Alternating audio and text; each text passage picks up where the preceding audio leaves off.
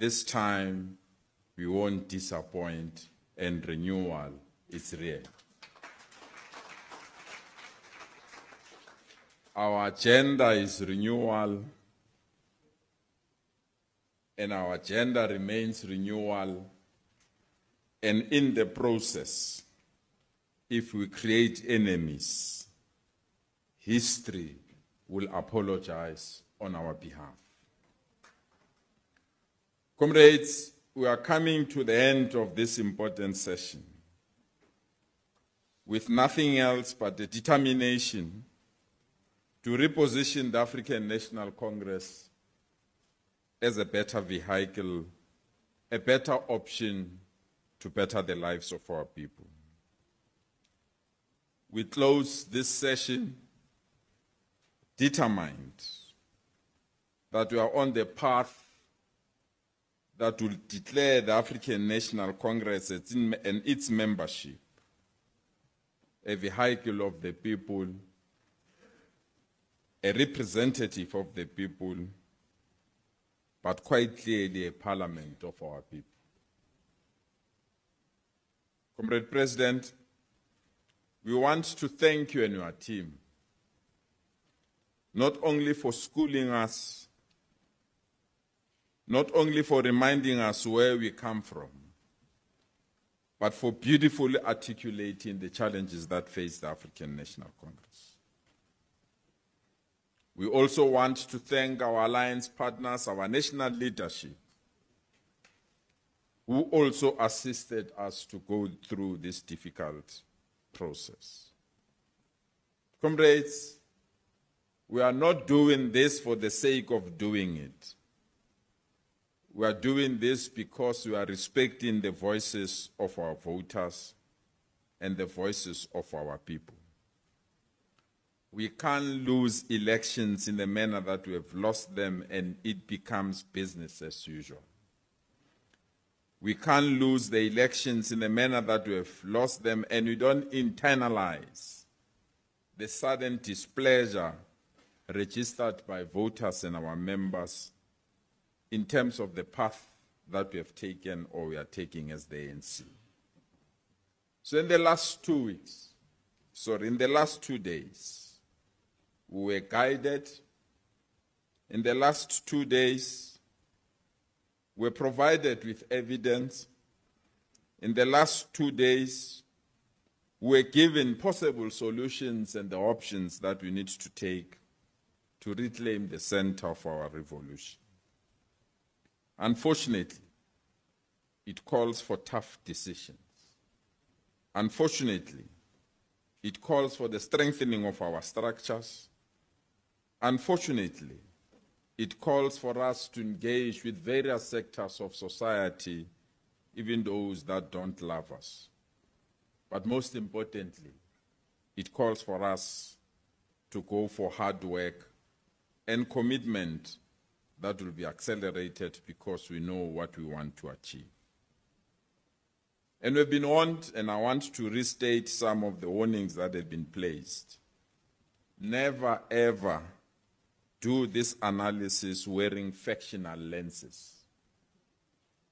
Never ever do this analysis to protect your friends and those that are close to you. Never ever do this analysis purely because you want to protect the resources of the state to only be utilized for those that are closer to leadership and those in charge of government on the political leadership. And we should accept these warnings, comrades. And we should embrace these warnings. That the process of renewal and the process of realignment and the process of strengthening our movement it's a process that is not going to be easy. We have to change our attitude. We have to change our ethics, our ethos. We have to change so many things that we are now used to do, all of us knowing that some of them are actually wrong. And comrades added in the advice that the elimination of money in the election of leaders must not only come to an end but must be eradicated completely. That those that use resources to manipulate outcomes in the ANC, that those particular people must no longer be glorified. It was stated in this house, we might have taken it lightly, that not everyone that wears a special golf shirt can be declared leadership. and that when we declare a leader a leader, it must be of their deeds, their commitments, but most importantly, their capability to unite all of us. So we live here, comrades, not only re energized, we live here to continue to search for answers. That this noble movement that defended our people, this noble movement that brought democracy, this noble movement that had these leaders of impeccable credentials, it can be overnight be a wrong movement. That this particular movement should remain the vehicle that our people can trust, a vehicle that can bring a better life for all. So in the last two days, we have accepted the wrongs. In the last two days, We've accepted the need to renew. In the last two days, we've committed ourselves to do good and do good at all times. I'm told to do good means even if you are alone, even someone is not watching you, you must continue to do good. But Corporate President, President Thabo declares this. Where you lead you must demonstrate quality service delivery. That where you lead, you must ensure that you improve the lives of our people. Comrade President, we accept this challenge. We can't be a movement that lose the middle class. We can't be a movement that lose the support of students. We can't be a movement that lose the support of working class. We can't be a movement that lose the support of hostile uh, dwellers and we remain the same. And therefore, we need to go all out to go and render services to our people.